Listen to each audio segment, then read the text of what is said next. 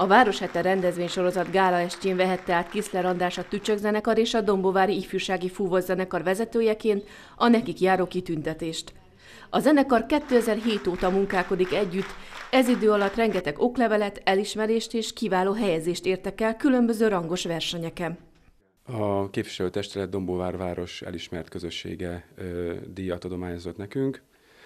Én azt gondolom, hogy erre nagyon-nagyon büszkék lehetünk, mivel ugye a 2006-2007-es iskolai tanévben kezdtük el működésünket, és 2007-ben vettük fel a Dombóvári Fúvós zenekar nevet. Az elején mi mindig úgy emlegettük a zenekart, hogy a kis zenekar, nagy és hát azért nyilván kellett itt azért egy nevet is mindenképpen találni a, a, a zenekaroknak. Úgyhogy a nagy lett az ifjúsági fúvós zenekar, és a kicsi a tücsök zenekar. Kiszler András büszkén mutatta stábunknak az elismerést, örül annak, hogy a 10-11 év kemény munkáját értékelik. Ez tükrözi, hogy valamit jól csinált. Elmondása szerint azonban a kollégák és a gyerekek szülei nélkül ez nem sikerült volna. Azt gondolom, hogy mi próbálunk mindig olyan ö, élményeket szerezni a gyerekeknek, amivel tartalmas ö, szabadidős tevékenységeket, tevékenységet tudnak ö, folytatni. Ugye hát most már van két CD lemezünk, két minősítő koncert, számos nemzetközi verseny is, mind itthon, mind határainkon túl.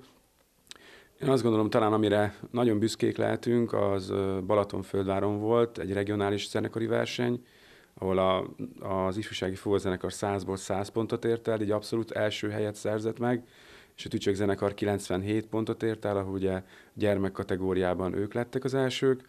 Azt gondolom, erre, erre nagyon-nagyon büszkék vagyunk, és ugyanezen a versenyen kaptam egy karmesteri különdíjat, és a másik pedig, ami ugye tavaly volt Sládvingba, Ausztriába egy nemzetközi fúvózenekari verseny, ahol szintén az ifjúsági fúvózenekar első díjat érdemelt ki. András szerint két ekkora csapatot nehéz összetartani, ezt a nagyfokú összetartást több év alatt értékel. Azonban úgy véli, hogy enélkül nem tudnának rendesen működni. Így a zenélés mellett fontosnak tartja közös programokat, a táborozásokat és a kirándulásokat. A karmester kikéri a növendékek véleményét a zenei választásról is, előszeretettel újítanak be egy-egy filmzenével.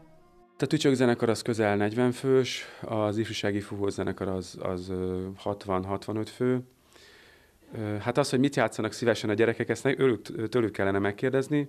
Én azt gondolom, hogy próbálom mindig úgy összeállítani a, a műsort egy koncertre, egy újévi koncertre, egy térzenére, hogy a gyerekeknek tetszen azt, és hogy szívesen játszák. Mindig próbálok több darabot bemutatni nekik, meghallgatjuk, megnézik a kottáját, és akkor ez alapján azért ők is egy picit döntenek erről, hogy mit szeretnének. De azt gondolom, hogy a filmzene koncertnek mindig nagy sikere van, akár hogyha egy karácsonyi darabot játszunk, de hát azért azt gondolom, hogy a magyar fúvózenekari ö, szerzők darabjait is, tehát itt gondolok Bogár István, Balázs Árpád, Hidas Frigyes, tehát ezeket azt gondolom, hogy játszani kell, hogy nyilván a magyar kultúrát és a magyar fúvózenét tovább ápoljuk. Legközelebb a fúvós csapat Sárváron fogja megmérettetni magát, a rangos eseményre sokat készülnek, méltóképp szeretnék képviseltetni városunkat.